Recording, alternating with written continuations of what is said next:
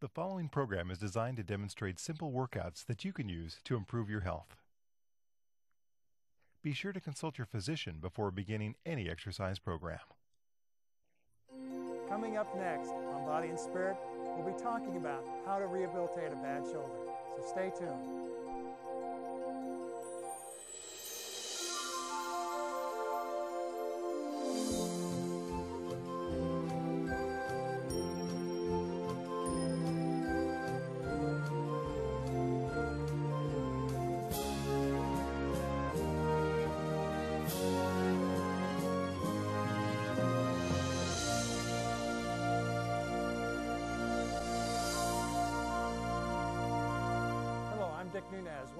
Director of the Black Hills Health and Education Center. Welcome to Body and Spirit. Today we're going to be focusing on how to rehabilitate a bad shoulder. We know in the Bible that Jesus gave us some examples that if we invest our time and invest our efforts wisely, He'll bless them. Sore shoulders can be very frustrating for people because it makes it so difficult for them to do anything. So today we're going to go over a routine that we can do to help a wide variety of shoulder problems and talk about what causes those problems in the first place. So if we're ready, let's get started. Today helping me out will be Jean. Okay, just take that over the chair there, please, and we'll go ahead and get, our, get ourselves going. Jean recently was in an accident where he actually broke his scapula, so he's a good candidate for this, and so we'll be working on trying to get through some of these, and also some of the limitations you may have, we'll find that Jean will probably have too. So we'll take this through and see what we can do. Okay, Jean, we're going to start out by just easily warming up here and doing some arm circles. And as you can see already, this is something that's a little bit difficult for Jean to do as far as bringing those arms all the way around. So we just get as much as we can. And then as he starts to get more flexibility or gets those arms into more movement, he'll find that it becomes much easier to get that range of motion. Okay, we'll go five more times there, Jean.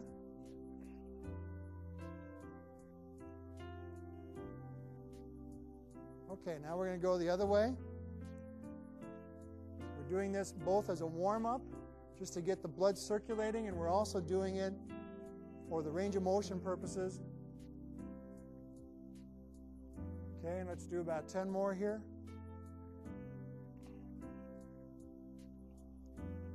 This is working the muscles that rotate the shoulder. We hear oftentimes of the rotator cuff. And this particular movement will work that area.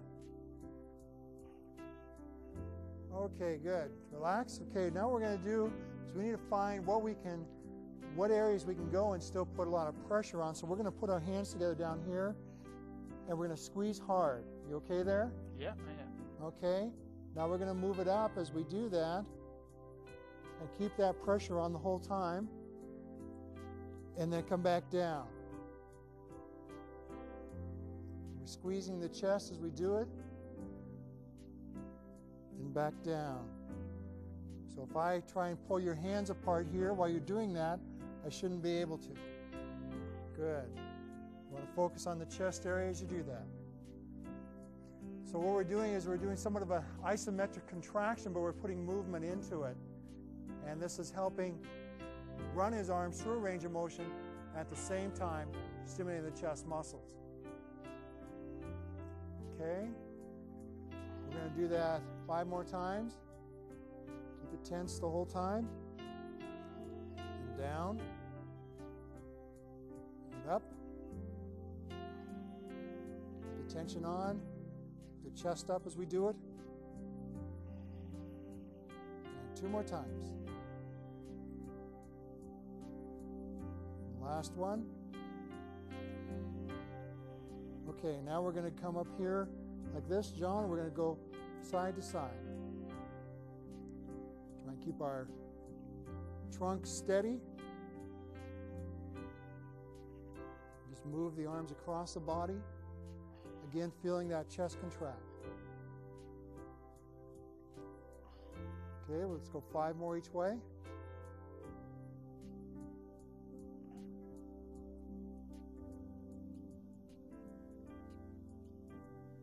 And one more. Good. Okay, relax. Now we're going to do is we're going to put the arms up and just let them lean back and let it stretch. Feel that stretch through the chest area all the way across. And then bring it forward and try and pull your shoulder blades apart. Okay. Again, let's lay back.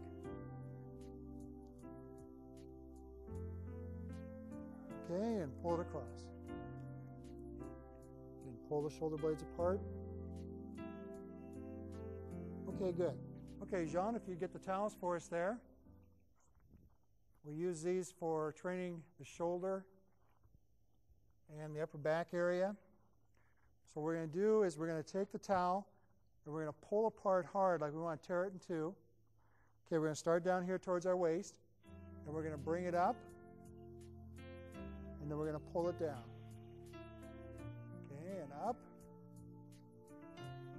Down. Okay? I'm going to come over here and instruct a little bit as John's doing this. Now, a big key on this would be to try and keep your arms in a level position. Okay, this is about where you can go comfortably. Okay, up. I'm stopping him here because when he went up further in this, I could see that his body was going in a little bit of a contortion, and we want to try and keep balance here. Good. Let's do it five more times. Scapula muscle or scapular area, the muscles around the scapula are so important. There's 16 different muscles that attach on each side of the scapula. So when you do something like crack a scapula, you've got a lot of problems there. So we need to do a wide variety of motions to try and bring those muscles back into play. Okay, now see if we can come up a little higher there. Okay, now let's pull side to side. Good. Keep the arm straight. Good. We're doing this, we're working the upper back muscles into under the arms here, latissimus dorsi. Try and keep it straight.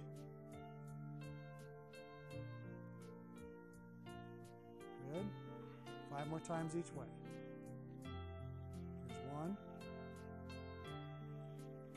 Two,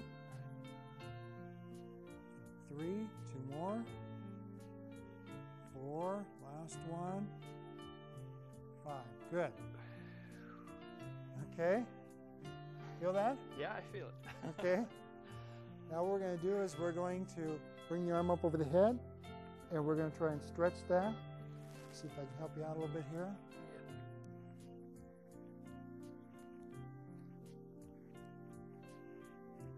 When we do our programs here at 3ABN, we like to use people that have the actual problems we're dealing with because then those at home can see what it's like to go through this rehabilitative process. Okay, good. Okay, let's go to the other side. How long has it been since you've had that accident, John? It's about four months, Four months now? five Okay. months. Five months. five hold it for just a few more seconds there. Okay, good. Now, what I'd like you to do is to lay down on your side on the floor there. The right side? Yeah, if you can. And I want you to take your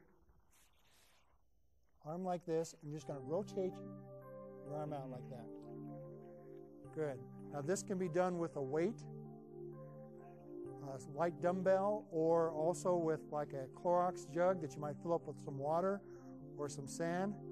This is working, some external rotation on an isolated position. And this is an excellent one for strengthening the rotator cuff area and also rehabilitating the rotator cuff area.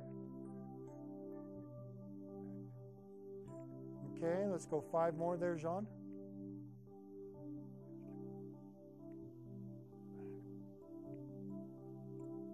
Two more. Okay, now turn on the other side.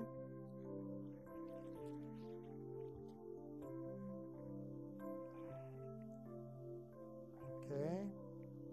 As you can see, this side is going to be a little more difficult for him.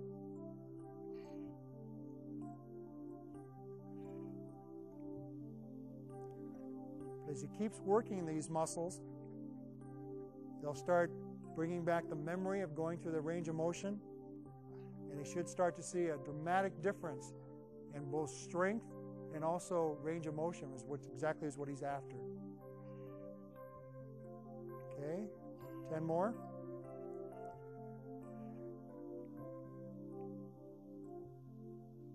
Now you can do this in a standing position as well, but it's not going to give you quite as much of a stimulation as you are if you're lying down on your side. Two more. Good. Okay, back on the feet again. Okay, now what we're going to do is we're going to roll the shoulders. This is going to be working the trapezius area. Trapezius goes all the way from the back of the skull, which is called the occipital region, and down the back, down all the way down to the 12th thoracic vertebrae, so it's a very long muscle. Also, an important motion for bringing shoulder range back. Okay, let's go the other direction now. Try and lift those shoulders as high as we can. Good. That's, that looks good. Also, when you have a problem like Jean has here, it, it can be very helpful to do some of your exercises in front of a mirror because when you do the exercise in front of a mirror, you can see where it is that you might be having a little uh, difference of range of motion.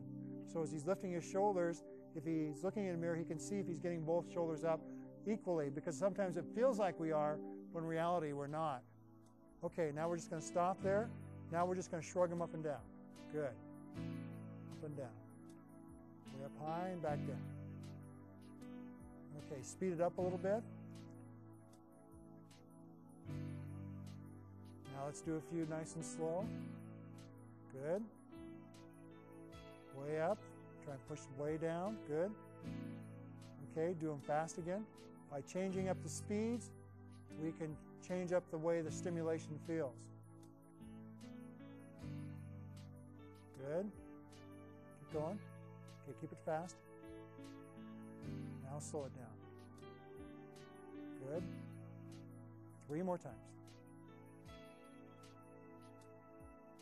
Okay. Now we're going to put our arms out like this.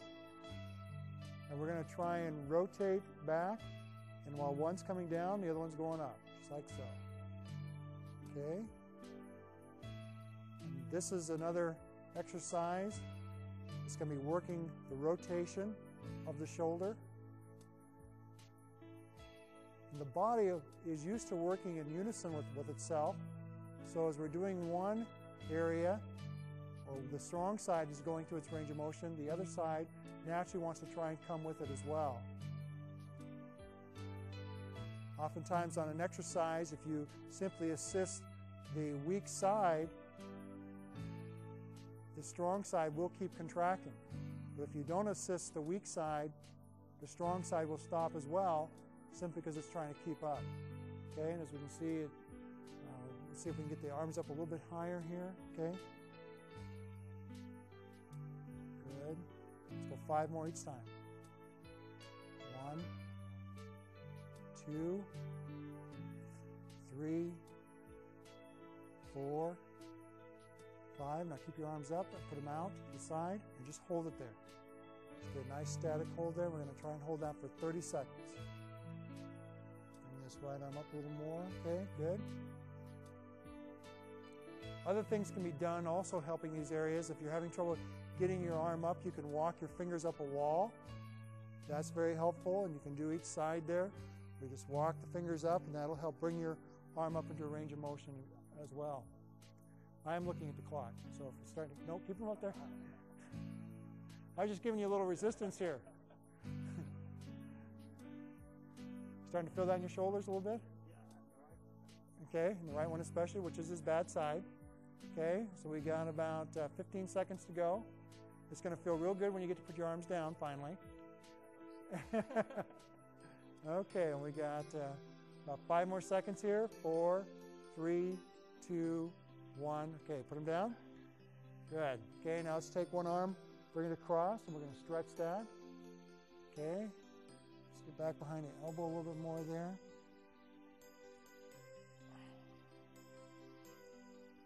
And that's giving a nice stretch into that area that was injured. Oftentimes, when we have an injury, we have to convince the muscles that it's okay to go through a range of motion again because they don't want to do it. They're, the brain has told the body that it's hurt and so it shouldn't do that. There comes a time when we have to get that range of motion back. Okay, switch.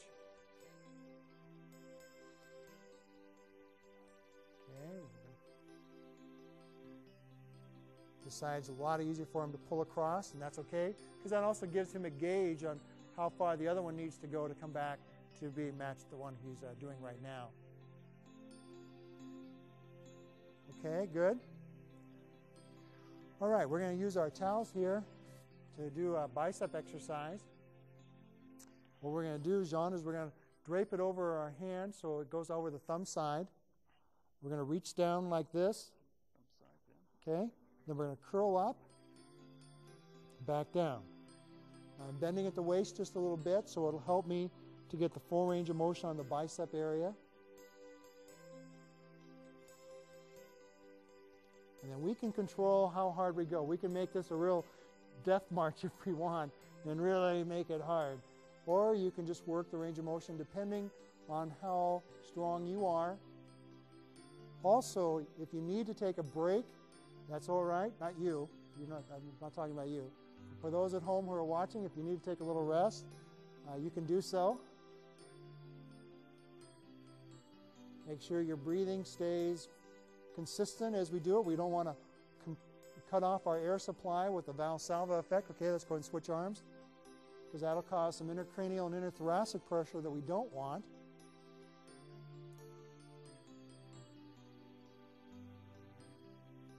And we want to focus on bringing it all the way down each time. Good range of motion.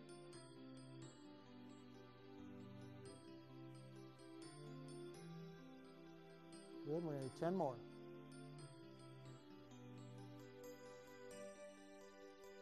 Even the biceps muscle has an attachment up in the scapula, so it all works together up there.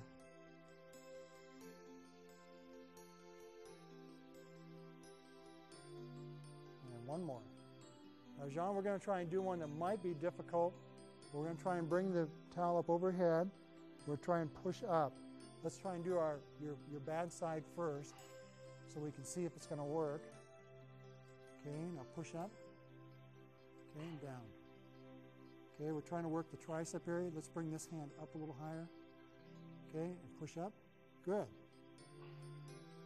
Good. We're standing up here.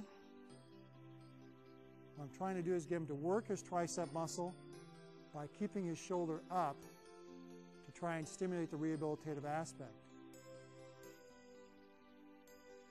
Now, Jean's having a little trouble getting that right arm to a full extension, but it won't be too long before he will. There we go, that's better. Told you it wouldn't take long, it only took a couple reps. Three more times. Last one.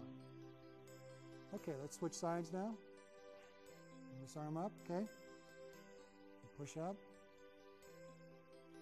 As you can see, this arm goes quite a bit easier and smoother going up to this position. And that's all right. Again, he can use this as his comparison. So as his right arm starts to get stronger and more flexible, he'll know if he's there once it matches this. Rehabilitating an injury can be frustrating, it can be long term, and we get impatient because we want it back right now. We can be thankful the Lord offers to bless our efforts as we move forward. Okay, let's do seven more.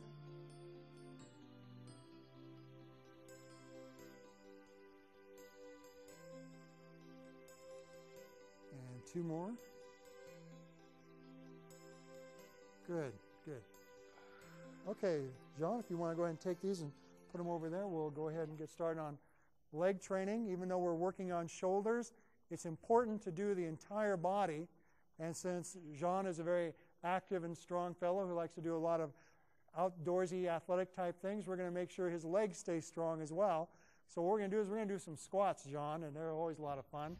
And the way we're going to do that is we're going to cross arms across our chest. And when we squat down, we're going to be pushing our hips back, and we're going to be squatting down, down, down, down, down, and we're going to come up slowly. And don't walk out. So we've got the legs bent still. Then we're going to go back down again, and then up slow. Now back down. Good, and up slow. Okay, go keep going. Good. Up slow, now back down. Sink the hips down. Good. Important thing when we do these squats is we want to make sure that the knees don't go over the feet. We're pushing the hips, hips back as we squat down. John's doing an excellent job of that. Good. Keep going.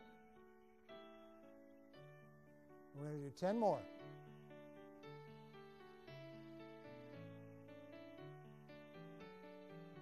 Good. This exercise is a safe, effective exercise as long as the posture is kept proper.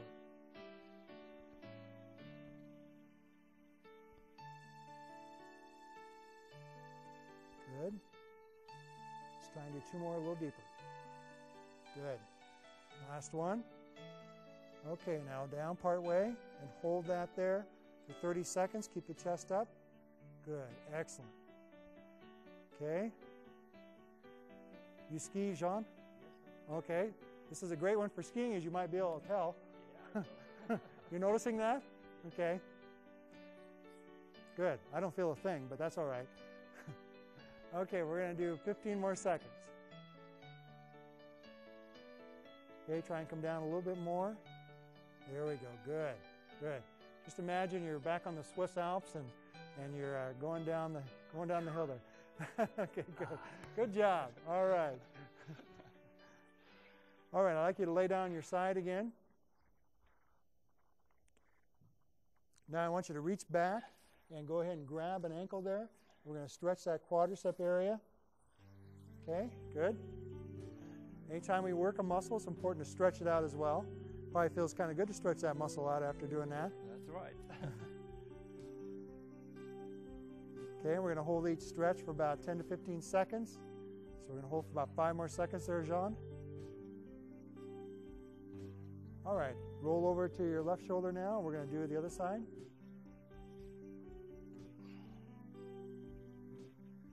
This is a good, effective stretch and a very uh, comfortable one. If uh, the more flexible you get, the further you can bring that leg back.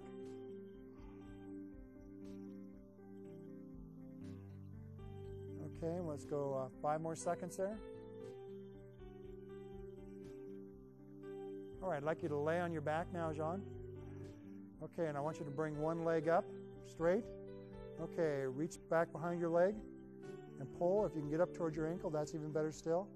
And stretch that hamstring area. Okay, and let's try and bring this leg out. There we go, good. We got a little bend in the knee, but that's okay. We're still getting a good stretch in the hamstring area. Feel it back there, I take it? I say yes. You say so? Okay. Having good flexible hamstrings will help keep our back strong because when people lose their hamstrings flexibility, that's when their back starts to take a lot more tension. The muscles don't want to go through their range of motion. They get swelling, and they get pain, and they start to have problems. All right, let's switch over to the other side now. Okay. Good. Nice steady pull. Okay, let's go five more seconds. Okay, while I've got you on the ground there, Jean, and we're going to do some abdominal training. Just have your knees bent like they are. And put the hands behind the neck, like so. We don't want to pull on our head because when we pull on our head, we can hurt our neck. But when we put them behind the neck, we can stabilize it and do the abdominal exercise. Most important thing when we do abdominal exercise is we want to compress the abdominal inward. So we want to exhale and push the low back to the ground as we do the abdominal exercise. Okay, we're going to start coming up now. Okay, and back down. Now, as you come up, try and touch your chin to the ceiling. Good. Back down. Okay, keep going. Blow out as you come up. And then down. Blow out as you come up. Good. Back down. Blow out. Good. Okay, speed them up just a little bit. Excellent. Keep going. Good. We're going to do 12 more in this position. The abdominal muscle only has a 4 inch range of motion, so it isn't necessary to try and come all the way up to the knees. In fact, that's actually a detrimental exercise to the back, so we don't want to do that because that brings into play the hip flexors, the iliopsoas muscles, and we're interested in focusing on the abdominal wall. We will do some variances in the exercise to give a little different stimulation. Okay, let's go about three more there. People feel that they need to do different exercises for different aspects of the abs, but if we get a good abdominal stimulation in a Homo sapien, when a muscle contracts, the whole thing contracts. Okay, let's bring the, the feet off the ground now, cross at the ankles, keep the knees bent. Okay, and let's do some more. Okay, again, we want to try and keep the chin going towards the ceiling. Blow out as you come up. It makes a big difference when you do abdominal training by having that breathing proper. Good. 10 more.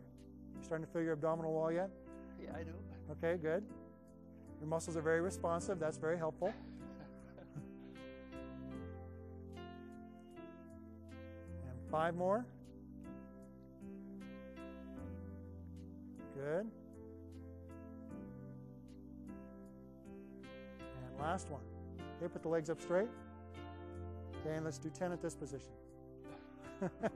oh, you thought I was going to let you get up?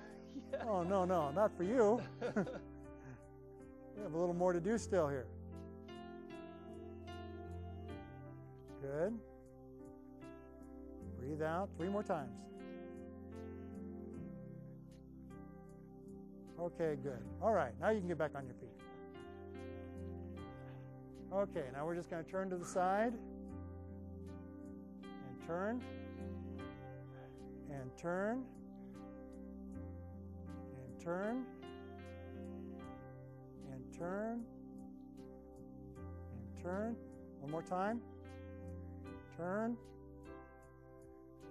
and turn. Good. Okay, Jean, we're all done. Thanks a lot. Having a bad shoulder doesn't have to be the end of movement as you know it. By just getting in a regular exercise program, using these simple exercises, even without equipment, you can have great things happen. Remember, Philippians 4.13 says, I can do all things through Christ who strengthens me. Do it to the glory of God and great things will happen. God bless you. We'll see you next time.